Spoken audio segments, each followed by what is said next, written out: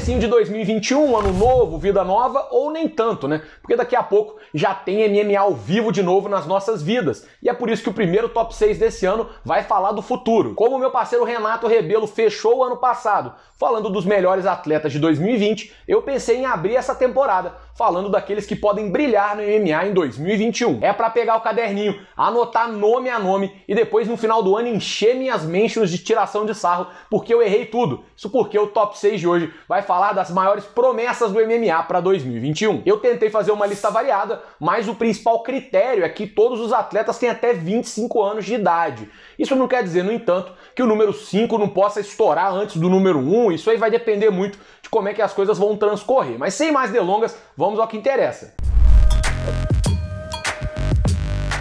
Começamos a nossa lista com dois nomes que não estão atualmente no UFC. O primeiro deles é Mohamed Mokaev, nascido no Daguestão, mas que está radicado na Inglaterra desde a sua infância. O jovem está atualmente assinado com o Brave, aquele evento que teve um diretor de Divinópolis, sabe? E tá com um hype tremendo desde antes de estrear no profissional. Isso porque Mokaev simplesmente obliterou a concorrência no MMA amador. Foram dois títulos mundiais para conta, 23 vitórias e nenhuma derrota para ele. Hoje ele tem quatro lutas profissionais com quatro vitórias e já foi personagem principal de matérias da BBC britânica e também da CNN internacional, sempre muito comparado a Habib Nurmagomedov. Já que eu falei do Habib, o primo dele, o Usman Nurmagomedov, é o nosso segundo listado em sexto lugar. Usman é um atleta muito ativo como profissional, tem 11 vitórias e nenhuma derrota na sua carreira e recentemente assinou com o Bellator. Além disso, ele ainda tem contado com o apoio incondicional dentro e fora dos tatames do Habib, desde que a águia do Daguestão se aposentou do MMA. O Usman certamente tem os genes da família no Magomedov,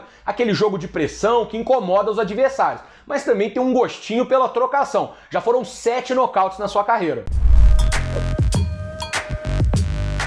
Novamente nessa lista de prospectos vou citar dois nomes, mas dessa vez por um motivo diferente. É que esses dois treinam juntos lá em Milwaukee, Wisconsin. É lá na casa do Milwaukee Bucks da NBA e bem pertinho da terra do Green Bay Packers, que treinam Brandon Allen e Macy Barber, sob a tutela de Duke Rufus. Brandon Allen vem de uma derrota doída para Sean Strickland no último mês de outubro, mas o meu palpite é que ele vai aprender muito com o resultado negativo. Antes do revés, Allen vinha numa ascensão meteórica dentro do UFC. Ele inclusive foi o último a bater Kevin Holland, um dos nomes mais celebrados do Ultimate em 2020. Mas Allen ainda precisa de alguns ajustes pontuais no seu jogo, e é justamente isso que ele tem feito sob a batuta de Duke Rufus e Ben Askren. Situação semelhante vive sua colega de equipe, Macy Barber, que é muito associada à única derrota da sua carreira, sofrida em 2020 para Roxanne Modafferi. Barber acabou superada por uma adversária bem mais experiente do que ela, só que desde então tem trabalhado muito para poder corrigir eventuais falhas no seu jogo. Chance para dar a volta por cima a futuro, como ela também é conhecida, tem. Isso porque já em fevereiro ela está escalada para encarar a mexicana Alexa Grasso.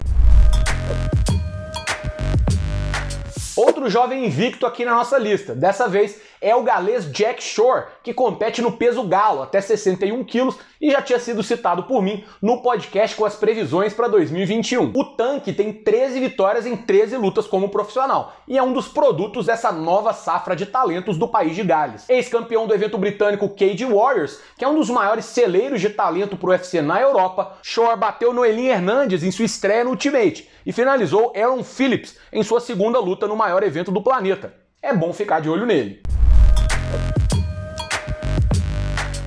Edman Sharbazian teve a chance em 2020 de fazer o seu primeiro main event no UFC. Claro que isso só aconteceu porque Holly Holm e Irene Aldana acabaram tendo sua luta adiada e o resultado também não foi positivo, mas a experiência foi válida. Sharbazian vinha chamando a atenção pelo seu estilo agressivo e uma longa sequência de nocautes e finalizações, mas acabou parando em Derek Brunson, o que também não é demérito nenhum, afinal de contas, falamos de um experiente membro do top 10 dos pesos médios. Descendente de armenos, Sharbazian virou notícia também fora do octógono, porque na sua última luta ele entrou como a bandeira da região de Artsakh, que é alvo de disputa entre a Armênia e o Uzbequistão. O incidente acabou gerando uma indisposição diplomática entre o UFC e o país da Ásia Central. Assuntos polêmicos e curiosidades à parte, Edman Sharbazian é um dos principais talentos do peso médio e deve ter tempo de sobra para se desenvolver em 2021.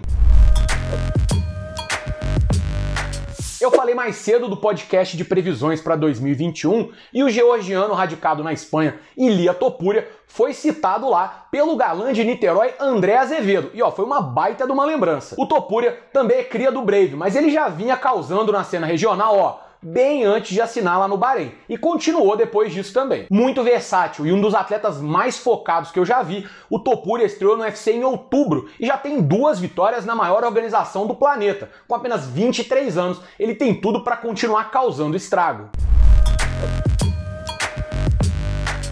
Em primeiro lugar na nossa lista está o australiano Jimmy The Brute Crute, ele que luta na categoria de pesos meio pesados. Eu já acompanho a carreira do Jimmy Crute há um bom tempo. Eu fiz scouting das lutas dele quando ele ainda atuava na Austrália, pelo evento local X-Fight Series. Mas eu não coloco ele no topo da lista só por isso, ou porque ele é um atleta forte fisicamente, muito versátil. É que ele tá numa categoria que favorece muito que ele suba bastante já em 2021. Olho no australiano que só tem uma derrota na carreira para Misha Circo 9 e que tem tudo para ter seu nome bem mais lembrado a partir desse ano.